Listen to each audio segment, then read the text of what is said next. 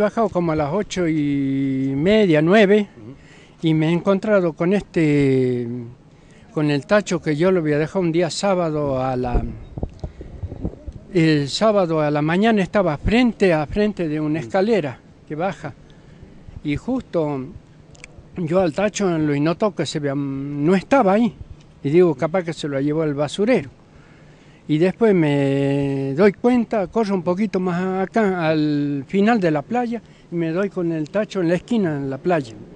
Y un boquete en el, ¿cómo es? En la esquina de la playa, de la media sombra. Y justo yo me fui a llamarlo al, ¿cómo es? Al gerente. Al gerente y le comuniqué eso que había pasado, que había visto.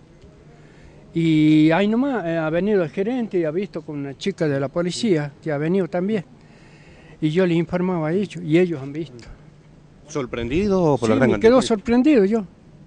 Lo que había visto ah, cuando ellos, el policía y la, la chica policía y el gerente habían levantado y habían visto todo eso. ¿Qué elementos pudo visualizar usted en el momento que encontró? Yo y, y visto como si fuera una moladora o una, un taladro, pero yo le he visto la parte de atrás.